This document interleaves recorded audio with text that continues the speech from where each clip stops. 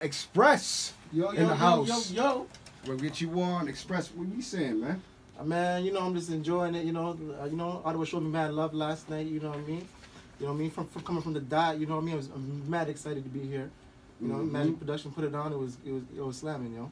You know what I mean? You know what? I gotta say, you're a sharp dresser, huh? Thank you very much, you know. Turn, turning certain people on.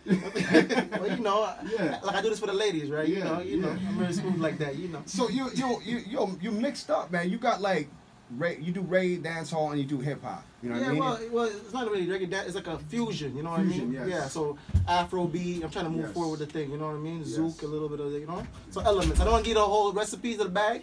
You know what I'm saying? So I'm gonna give you a little sauce. You know. So I'm trying to keep it like you know, just have fun. You know what I mean? Because it's so a lot, a lot of depressing stuff happen. You know. Shout out to you know what I mean.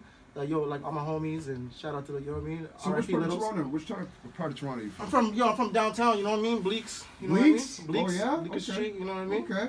Yeah, yeah, yeah. So But I grew up, but I was born in Jamaica though. You know what I mean? I was just I grew up, grew up in uh, a little bit in